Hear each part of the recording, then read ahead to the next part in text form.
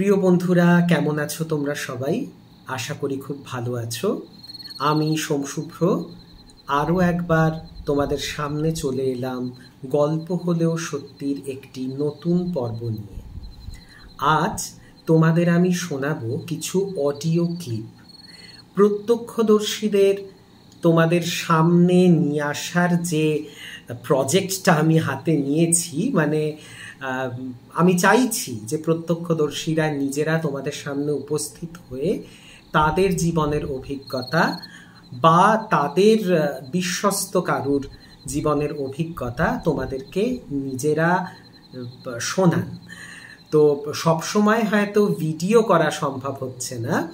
আজকে আমি তোমাদেরকে অডিও ক্লিপস শোনাবো। যেগুলি আমি পেয়েছি আমার বন্ধু এবং আমার ঘনিষ্ঠ মহল থেকে। প্রথমেই আমি যার কাহিনী তোমাদেরকে শোনাবো মানে যার মুখ থেকে আমি কাহিনী তোমাদের সামনে উপস্থাপন করব, তিনি হচ্ছেন শ্রীমতী শর্মিলা দে।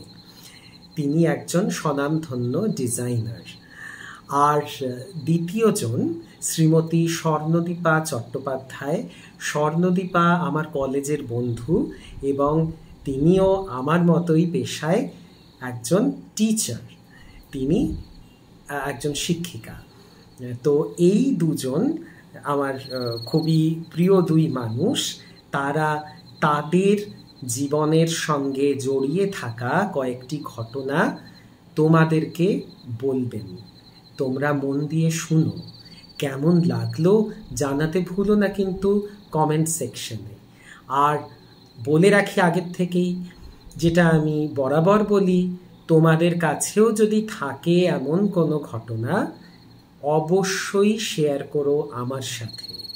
যোগাযোগের ডিটেলস ডেসক্রিপশন বক্সে সবসময় দেওয়াই থাকে, তোমরা সেটা জানো। আর তোমরা ভিডিও ক্লিপ অথবা অডিও রেকর্ডিং আমাকে পাঠাতে পারো। আমি সেগুলো সরাসরি তোমাদের গলাতেই বা তোমাদের ভিডিও সরাসরি আমি আমার এই গল্প হলেও সত্যির আসরে আমি আপলোড করে দেব। আশা করি আজকের গল্পগুলি তোমাদের ভালো লাগবে। তোমাদের ফিডব্যাকের অপেক্ষায় রইলাম। তাহলে শোনা যাক কি গল্প আছে আজকে আমাদের ঝুলিতে। আমি শর্মিলা, আমি সোমশুভ্র আর চৈতালির অনুরোধে আমার কিছু অলৌকিক ঘটনার কথা আপনাদের সঙ্গে শেয়ার করে নিচ্ছি। আমি দক্ষিণ কলকাতার একটি প্রাচীন বনেদি বাড়ির মেয়ে। আমার দাদু শ্রী হরপদ ভদ্র উনিশশো বাহান্ন সালে আমাদের ছেড়ে চলে যান। তার তৈরি করা বাড়িতেই আমার, আমরা এখনও পর্যন্ত বসবাস করি। আমার মা এখানে, সেখানে এখনও আছেন। আমার দাদু দেশ বিভাগের আগে দেশে চলে আসেন এবং টরি ক্লাবে উনি অ্যাকাউন্টেন্ট ছিলেন, ইংরেজি জানতেন আর তখনকার দিনে খুব প্রাউড ছিলেন কারণ সাহেবদের সাথে কথা বলতে পারতেন।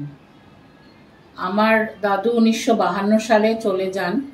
তারপর দাদুর একটা ছবি বড় করে বাঁধিয়ে বাড়িতে রাখা ছিল। আমার মা প্রত্যেক বছর তাতে মালা চন্দন বাইশে এপ্রিল ওনার চলে যাওয়ার দিনে মালা চন্দন পড়াতেন অবস্থাগতিকে ওনার সেই ছবিটা অন্য জায়গায় আমার এক জ্যাঠতো দিদির সঙ্গে অন্য বাড়িতে চলে যায়।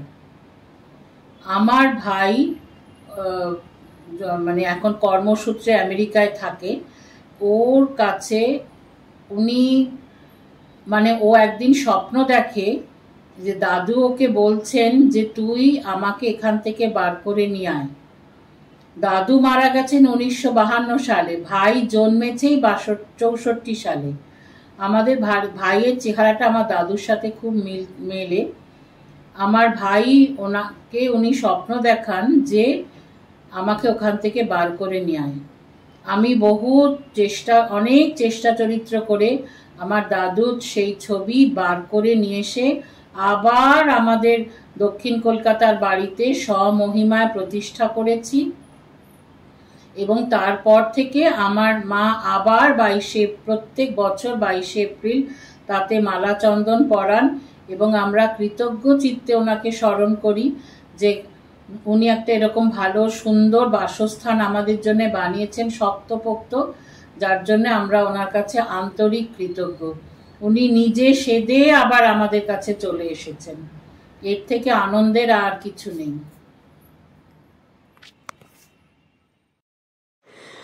আমি স্বর্ণদীপা চট্টোপাধ্যায়। আজ প্রায় ২৬ বছর ধরে আহমেদাবাদে আছি। কিন্তু আমার বড় হয়ে ওঠা কলকাতার বুকে। দীনবন্ধু এন্ড্রুস কলেজে আমি সোমশুভ্র আমরা সবাই একসাথে পড়তাম। ইংলিশ অনার্সের ছাত্রছাত্রী ছিলাম আমরা। এখনও পর্যন্ত আমাদের বন্ধুত্বটা অকাট্যভাবে রয়ে গেছে। সেই বন্ধুত্বের অধিকারেই একদিন শুভ্র আমাকে বলল, স্বর্ণ, তোর জীবনে যদি আনইউজুয়াল কোনো ঘটনা ঘটে থাকে, তাহলে প্লিজ শেয়ার করিস। আমি ভাবলাম যে আমার জীবনে নাই নাইবা ঘটল কিন্তু আমি যাদের মুখে এই কথাগুলো শুনেছি, এই গল্পগুলো শুনেছি মানে আমার মা, ঠাকুমা, তারা তো এই ঘটনার প্রত্যক্ষদর্শী। তাহলে এই ঘটনা যদি আমি শেয়ার করি, তাহলে কেমন হয়? তাই সেই জন্যেই আমি এই ঘটনাগুলো সোমশুভ্রর সাথে শেয়ার করলাম। সোমশুভ্রর গল্পটা, গল্পগুলো শুনে আমারও কিছু গল্প মনে পড়ে গেল, যেগুলো আমি আমার ঠাকুমার কাছে শুনেছিলাম ছোটোবেলায়। এবং সেগুলো শুধু গল্প না, সেগুলো আমার ঠাকুমার অভিজ্ঞতা। একদম প্রত্যক্ষদর্শী, সেই ঘটনার প্রত্যক্ষদর্শী ছিলেন আমার ঠাকুমা। ব্যাপারটা এরকম যে সবে পার্টিশন হয়েছে এবং পূর্ববঙ্গ থেকে আমার ঠাকুমা, দাদু, আমার বাবা তিন পিসি, এরা সব, সবে এসেছে। হুম, এবং আমাদের অন্যান্য আত্মীয় স্বজনরাও সবাই তখন পূর্ববঙ্গ থেকে সবে এই পারে চলে এসেছে। আমরা বেসিক্যালি পূর্ববঙ্গের লোক। আমার দাদু আমার ঠাম্মা, ওরা সবাই বরিশাল জেলার মানুষ ছিলেন। তো পার্টিশনের পরে এসে খুবই দুরবস্থা, কিছুই সেরকম নিয়ে আসতে পারেননি সাথে। পয়সা করি তো প্রায় নেই বললেই চলে। খুবই স্ট্রাগলের মধ্যে দিয়ে তাদেরকে যেতে হয়েছে। তো যা হয়, সেই সময় পূর্ববঙ্গ থেকে আসার পরে এটা তো খুব একটা ন্যাচারাল ব্যাপার। সব আত্মীয় স্বজনরা সবাই একই জায়গাতে মোটামুটি থাকার চেষ্টা করে। তো আমার ঠাকুমার যে ছোট ভাই সেও তার পরিবার নিয়ে একই সাথে প্রায় চলে আসে এবং খুব একটা দূরে ছিল না তাদের বাড়ি, যেখানে তারা একটা মোটামুটি মানে বাসস্থান বানায়। সেই বাসস্থান আমার ঠাম্মারা যে বাড়িতে থাকতেন, তার থেকে খুব একটা দূরে ছিল না, হাঁটা পথ ছিল। এক্স্যাক্টলি কোন জায়গার আমার এখন ঠিক বলতে পারব না, কেননা আমি তখন তো ছোট যখন মানে ঠাকুমা এই কথাগুলো, গল্পগুলো বলতেন, তো অত ভিভিডলি এক্স্যাক্টলি জায়গার নামটা বলতে পারব না। তবে এটা পার্টিশন থেকে এপারে চলে আসার পরের ঘটনা। আমার দাদু তখন মাস্টারি, ওখানেও তিনি স্কুলের অ্যাসিস্ট্যান্ট হেডমাস্টার ছিলেন এবং এপারে এসে তিনি আবার মাস্টারি শুরু করেন। তো তাকে এমন একটা জায়গাতে মাস্টারি করতে যেতে হতো যে তিনি একমাত্র স্যাটারডে, সানডেতেই বাড়িতে আসতে পারতেন। তো একটা ভাড়া বাড়ি। সে ভাড়া বাড়ির খুবই কম ভাড়া। মানে সামনে একটা বারান্দা, তারপরেই রাস্তা। আর বারান্দার এক, একটা পাশে এক খালি রান্না করার জায়গা। আর একটাই ঘর, আর পিছন দিকে বাথরুম, পায়খানা, এরকম আর কি। মানে জাস্ট কোনো মতে নিশ্চয়ই বুঝতে পারছিস তোরা ওইখান থেকে আসার পরে। সঙ্গে সঙ্গেই তো আর মানে করে থাকা যায় না। খুবই স্ট্রাগলিং লাইফ গেছে সেই সময়। আমার বাবা তখন মাত্র বারো তেরো বছরের ছেলে। বড় পিসি হায়ার সেকেন্ডারি পড়ছে, এমন সময় চলে আসতে হয়েছিল এখানে। আর ছোটো পিসি তো খুবই ছোট, মেজো পিসিও ছোট। তো এরকম অবস্থা। তো একদিন হলো কি আমার ঠাকুমা খুবই অসুস্থ। আমার ঠাকুমা প্রায় ভুগতেন। তো যাই হোক, উনি খুব অসুস্থ। বেশ অনেক দিন জ্বর চলছে এবং যা হয়, জ্বরের মধ্যে খিদে নেই খাবার রুচি নেই।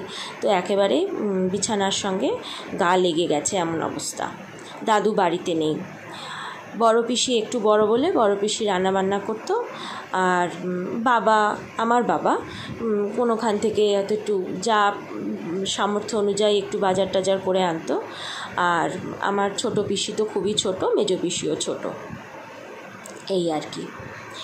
হঠাৎ আমার ঠাকুমা বলছে যে, হঠাৎ দেখে কি যে এক সাধু হ্যাঁ সেই সাধু মানে খুব একটা মানে মানে জাস্ট একটা গাছের ছাল জড়ানো আর সারা গায়ে রুদ্রাক্ষের মালা, মাথায় বিশাল জটা এবং সেই চোখগুলো দিয়ে যেন আগুন বেরোচ্ছে, এমন এক সাধু। হাতে শিবের ত্রিশূল ধরা এসে হঠাৎ মানে সেই সাধু যে কখন এলো, কোথা থেকে এলো, কেউ বলতে পারবে না। এসে ওই দরজাটা খোলা ছিল, বারান্দার দরজাটা, ওখানে এসে দাঁড়ায়। দাঁড়িয়ে আমার ঠাকুমাকে বলতে থাকে, এদিকে আয় এদিকে আয়। বারবার বলতে থাকে। তো আমার ঠাকুমা জ্বরে ভুগে ক্লান্ত। তিনি বলেছেন যে আমি যেতে পারব না। তোমার কি চাই? তুমি বলো না, তোমার কি চাই? আমি যেতে পারব না। হুম, তখন সেই সাধু বলেছে, ঠিক পারবি, তুই উঠে আয়, বোম ভোলে, বোম ভোলেনাথ। এরকম বলে বোম, ভোলেনাথের নাম নিয়েছে। নিয়ে বলেছে, তুই ঠিক পারবি, আমি তিন গুনবো, তুই এক্ষুনি আয়। তো আমার ঠাকুমা মানে বিশ্বাস করবে না তোমরা। আমার ঠাকুমা বলেছিলেন আমাকে যে, আমি যে মানুষটা উঠতেই পারছিলাম না, আমার যে কি হলো হঠাৎ, আমি একদম শটাং উঠে বসে সোজা ওই সাধুর সামনে গিয়ে দাঁড়ালাম। তখন ওই সাধু নাকি তিনটে রুদ্রাক্ষে, রুদ্রাক্ষ, রুদ্রাক্ষের মালাও না, রুদ্রাক্ষ ও ঝোলা থেকে বার করে আমার ঠাকুমার সামনে হাতে, বলেছিল হাত পাত তো হিন্দিতেই বলেছিল আর কি। তো আমার ঠাকুমা বুঝতে পেরেছিল। তো হাত পাততে বলেছিল, ঠাকুমা হাত পেতেছিল, ডান হাত। এবং ওই তিনটে রুদ্রাক্ষ আমার ঠাম্মার হাতে দিয়ে বলেছিল, তোদের বাড়িতে খুব বিপদ। আর তোর বাড়িতে, তোর বাড়ির কাছে, তোর যে ভাইয়ের বাড়ি আছে, ওদের বাড়িতেও কিন্তু খুব বিপদ। এই রুদ্রাক্ষ একটা এই রুদ্রাক্ষগুলো ওদেরকে দিবি। ওদের একটা এর থেকে তুই একটা রুদ্রাক্ষ তোর ভাইয়ের বউকে দিবি এবং এই বাকিগুলো তুই রেখে দিবি। খুব সাবধানে থাকতে বলবি। বলে আমার ঠাকুমা শুধু আচ্ছা বলে এরম করে মাথায় হাতটা ঠেকিয়েছে আর চোখ খুলে দেখে যে সাধু নেই। এবং তখন আমার ঠাম্মার কী যে হয়েছে সঙ্গে সঙ্গে ঠাম্মা বারান্দায় বেরিয়ে এসছে। বেরিয়ে এসে রাস্তা দিয়ে একজন মহিলা আসছিল তাকে নাকি জিজ্ঞাসাও করেছে যে একজন সাধুকে দেখেছ? তুমি দিদি, তুমি তো এই দিক দিয়েই আসছিলে, সাধুকে দেখেছ? বলছে, কই, কাউকে দেখিনি তো? মানে এরকম, জটাধারী। আচ্ছা আমার ঠাকুমা কী করলেন? ওর থেকে একটা রুদ্রাক্ষ সেদিনই সন্ধেবেলা মানে ওই ভাই তো কাছেই থাকতো, ছোট ভাই, আর উনি প্রায় আসা যাওয়া করতেন আর কি। যেহেতু আমার দাদু বাড়িতে থাকতেন না সব সময় বলে আমার ঠাকুমার যিনি ভাই, উনি রোজই প্রায় দেখাশোনা কর মানে দেখতে আসতেন যে কেমন আছে দিদি ইত্যাদি। তো ওই ভাইকে দিয়ে ওই ভাইয়ের বউয়ের কাছে একটা রুদ্রাক্ষ উনি পাঠিয়ে দেন আমার ঠাম্মা এবং বলে দেন যে এটা আমার, ওই ঠাম্মার নাম ছিল মানে আমার ঠাম্মার ভাইয়ের বউ, তার নাম ছিল সতী রানী আমার ঠাকুমা সতী সতী বলতো। তো উনি বলেন যে সতীকে বলবি যে এই রুদ্রাক্ষটা সযত্নে রেখে দিতে। এবং অবিশ্বাস্য ব্যাপার এটা যে এক মাস পরে আমার ওই দাদু ঠাম্মার একটা ছেলে মারা যায়। ওই সতী আর তার হাজব্যান্ড মানে আমার ঠাকুমার ভাই এবং ভাইয়ের বউ। এবং যেটা সব থেকে বড় কথা, আমার ঠাম্মা সঙ্গে সঙ্গে ওই সতী ঠাম্মাকে বলে যে, দেখো তো তোমার ওই রুদ্রাক্ষটা আছে কি না যেখানে রেখেছিলে? সতী ঠাম্মা গিয়ে দেখে, রুদ্রাক্ষটা নেই। আমি দুটো ঘটনা শেয়ার করতে চাই। অবশ্য এই অভিজ্ঞতাটা আমার নয়। আমার মায়ের। আমার মা যখন ছোট ছিলেন এবং যখন তিনি রাঁচিতে থাকতেন। একটু বলতে চাই যে আমার মা she was born and brought up in Ranchi. আমার মা এক বোন এবং তিন ভাই। তিন ভাই মানে আমার তিন মামা। তিন মামাই আমার মায়ের থেকে বড় ছিলেন। তো হাওয়েভার আমার দাদু এজি বেঙ্গলে চাকরি করতেন এবং সেই সময় রাঁচিতে পোস্টেড ছিলেন। তো রাঁচির বাড়ি, বিশাল বড় বাড়ি। যেমন হতো আগেকার দিনে, বেশ বিশাল বড় স্পেশাস বাড়ি, পিছনে বাগান, এমন একটি বাড়ির মধ্যে ঘটনাটা ঘটে। এবং ঘটনাটা আমার দিদিমাকে কেন্দ্র করে। আরও একটু বলতে চাই যে, আমার দিদিমা মারা যান যখন আমার মা ক্লাস এইটে উঠেছে জাস্ট উঠেছে। ঠিক আছে? তাহলে সময়টা নিশ্চয়ই সবাই আন্দাজ করতে পারছে যে কত বছর আগেকার কথা। অ্যান্ড মাই দিদিমা also died at the age of thirty six আরও একটা ফ্যাক্টর যে আমি যে গল্পটা বলব, যেটা আনইউজুয়াল ব্যাপার, যাকে নিয়ে আনইউজুয়াল তিনি হচ্ছেন আমার মায়ের দিদিমা মানে আমার দিদিমার মা। She had also died at the age of thirty six এবং ঘটনার পরিপ্রেক্ষিতটা হচ্ছে দুটো ছোট ছোট ঘটনা, যেটার পরিপ্রেক্ষিতটাই হলো যে আমার দিদিমার মা অলরেডি মারা গেছেন এবং তারপরে আমার দিদিমার জীবনে কীভাবে মানে কি ঘটেছে এবং আমার দিদিমা কীভাবে তাকে দেখতে পেতেন বা তার প্রেজেন্সটা অনুভব করতে পারতেন। আমার দিদিমা অনেক বছর মানে চিকিৎসাধীন ছিলেন, অনেক দিন তিনি ভুগেছেন। ডক্টর যাদুগোপাল মুখার্জির আন্ডারে তিনি চিকিৎসাধীন ছিলেন। সবাই নিশ্চয়ই জানে ডক্টর যাদুগোপাল মুখার্জির নাম। He was a freedom fighter এবং ব্রিটিশ গভর্নমেন্ট ওনাকে রাঁচিতে নজরবন্দি করে রাখে। ডক্টর মুখার্জির বাড়ি আমাদের, আমার মাদের, মারা যে বাড়িতে থাকতেন সেই বাড়ির পাড়াতেই ছিল। ওই পাড়াতে অরবিন্দ ঘোষেরও এক রিলেটিভের বাড়ি ছিল। যাই হোক, আমি তার আগে একটু বলতে চাই যে আমার বড় মামা আর আমার মায়ের মধ্যে বয়সে অনেকটাই তফাৎ, কারণ আমার বড় মামা সবার বড়। আর আমার মা আমার বড় মামাকে ভীষণই স্নেহ করতেন। মানে এমনও আমাদের মা, আমার মাদের মনে হয়েছে যে আমার দিদিমা আমার বড় মামাকে যেন একটু বেশি স্নেহ করতেন। এবং আমার বড় মামাও আমার দিদিমার সাথে একটু বেশি অ্যাটাচ ছিল।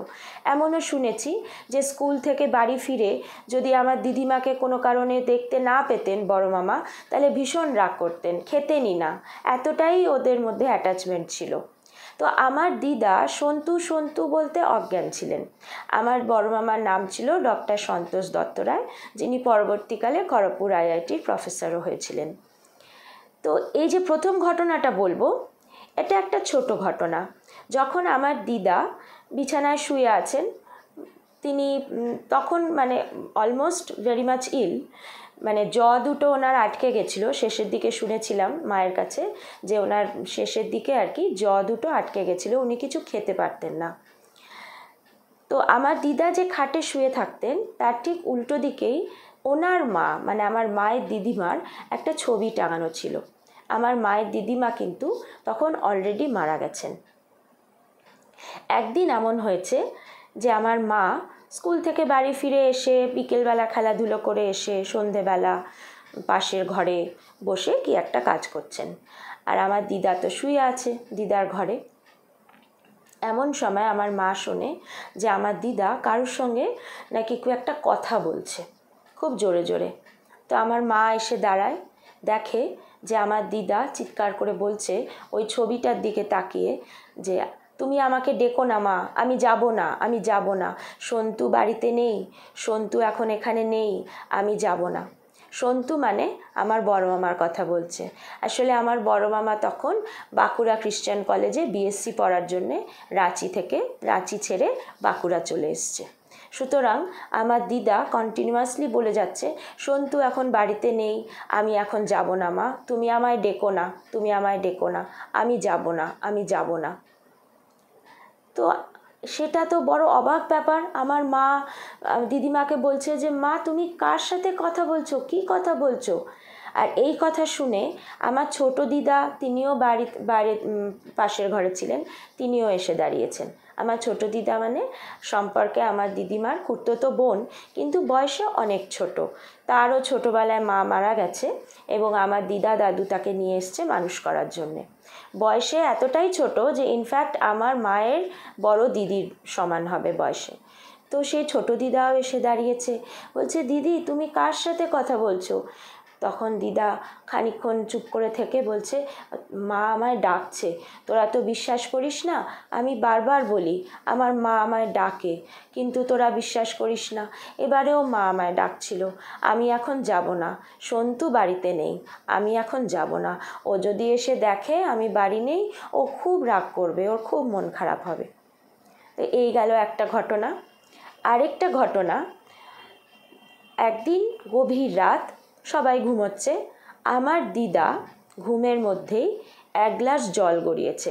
কাঁচের গ্লাসে এক গ্লাস জল গড়িয়ে বাড়ির পিছনের দিকে, দরজার দিকে হেঁটে যাচ্ছে এবং ঘুমন্ত অবস্থাতেই ইট ওয়াজ হার স্লিপ ওয়াকিং তো এমন সময় আমার মায়ের জ্যাঠামশাই, তিনি বোধহয় উঠেছেন বাথরুম টাথরুমে যাবেন। হঠাৎ উনি আমার দিদাকে ওরকম ঘুমন্ত অবস্থায় এক গ্লাস জল গড়িয়ে বাড়ির পিছনের দিকে, দরজার দিকে হাঁটতে দেখে, দেখেছেন। দেখে তো উনি চিৎকার করে উঠেছেন, বৌমা বৌমা, কোথায় যাচ্ছ? তুমি কি করছ? কোথায় যাচ্ছ? আর সেই চিৎকার শুনে আমার দিদা সম্বিত ফিরে পায়। সঙ্গে সঙ্গে ওনার হাত থেকে জলের গ্লাসটা পড়ে ঝনঝন করে ভেঙে যায় এবং আমার দিদাও অজ্ঞান হয়ে মাটিতে পড়ে যায়। সবাই তো ধরাধরি করে এনে আমার দিদাকে শুয়ে দেয় বিছানায়। ইতিমধ্যে যা হয়, ওই ডাকা ডাকি ওই হই হই ওই আওয়াজে তো সবার ঘুম ভেঙে গেছে। আমার দাদু, ছোট দিদা, মেজো মামা, বাড়িতে অবশ্য ছোট মামা সে সময় ছিলেন না, আমার মা সবাই দৌড়ে এসছে। এসে দিদাকে ধরাধরি করে নিয়ে বিছানায় শুয়েছে। তো আমার দাদু জিজ্ঞেস করেছে, তুমি কোথায় যাচ্ছিলে? কেন ওরকম এক গ্লাস জল ভরিয়ে নিয়ে তুমি পিছনের দিকে যাচ্ছিলে? কোথায় যাচ্ছিলে? তখন আমার দিদা মানে এটা জিজ্ঞেস করেছে যখন আমার দিদার জ্ঞান ফিরে এসছে আর কি খানিক্ষণ পরে। তো আমার দিদা তখন খানিক্ষণ চুপ করে থেকে বলছে, জানো তো, আমার মা আমাকে ডাকছিল। আমার মা আমাকে খালি বলে রেনু রেনু আয়, রেনু, আয়। আর খালি আমাকে ডাকছিল আর বলছে, রেনু, আমার এক গ্লাস জল দে। আমার খুব জল তেষ্টা পেয়েছে, এক গ্লাস জল দে। আর আমি ওই এক গ্লাস জল গড়িয়ে নিয়ে যত দরজার দিকে এগোচ্ছি, মা তত পিছন দিকে পিছোচ্ছে। দরজার বাইরে তত পিছিয়ে যাচ্ছে। আর একটুখানি বলতে চাই, আমার দিদার নাম স্বর্ণ রেণু ছিল। আর ওই দরজার পিছনটা মানে দরজাটা খুললেই পিছন দিকে বিশাল বড় বাগান, যা হতো আগেকার দিনের বাড়ি। তো আমার দিদাকে নাকি তার মা সব সময় নাকি ডাকতেন রেনু রেনু আমার কাছে চলে আয়। এরকম দিদা বারবার বলতো। এবং মানে অদ্ভুত ব্যাপার যে এই যে জলের গ্লাসের যে ইনসিডেন্টটা এর পরেই কিন্তু আমার দিদা ভীষণভাবে অসুস্থ হয়ে পড়েন, আরও বেশি অসুস্থ হয়ে পড়েন। এবং তার বেশ মানে কয়েকদিন পরে আমার দাদু আমার দিদাকে নিয়ে এমনকি এতই অসুস্থ হয়ে পড়েন যে দিদা, ডক্টর যাদুগোপাল মুখোপাধ্যায়ই বলেন যে দিদাকে তখনকার দিনে মেও হাসপাতালে নিয়ে যেতে। আমার দাদু এই কলকাতায় মেও হাসপাতালে আমার দিদাকে দেখাতে নিয়ে আসে। অবভিয়াসলি কিছুই ফল হয়নি। তার কয়েকদিন পরেই রাঁচিতে ফিরে যাওয়ার পরেই আমার দিদা মারা যান। তো এই হচ্ছে ঘটনা। আশা করি সকলের ভালো লাগবে। জানি না কত ভালোভাবে বলতে পারলাম, কেননা আমি খুব ভালো গল্প বলতে পারি না। I am not a very good storyteller কিন্তু এই দুটো ঘটনা আমার মনে হলো যে আমি শেয়ার করি, তাই আমি তোর সাথে শেয়ার করলাম। প্রিয় বন্ধুরা, এতক্ষণ শুনছিলে শ্রীমতী শর্মিলা দে এবং শ্রীমতী স্বর্ণদীপা চট্টোপাধ্যায়ের মুখ থেকে তাদের জীবনের সঙ্গে জড়িয়ে থাকা কিছু অতীন্দ্রিয় ঘটনার বিবরণ। শুনতে গল্পের মতো ঠিকই, কিন্তু গল্প নয়, সব সত্যি। ওই যে বারবার বলি, গল্প হলেও সত্যি। আর জানো তো, আত্মা অবিনশ্বর। আত্মার কোনো বিনাশ নেই। অতএব আত্মা থেকেই যায়। কবিগুরুর সঙ্গে কণ্ঠ মিলিয়ে বলি, শেষ নাহি যে, শেষ কথা কে বলবে? মৃত্যুতে সব কিছু শেষ হয়ে যায় না। কোথাও কিছু একটা থেকেই যায়। ভালো থেকো তোমরা সবাই, সুস্থ থেকো। খুব শিগগিরই দেখা হবে। গল্প হলেও সত্যির আরেকটি নতুন পর্বে।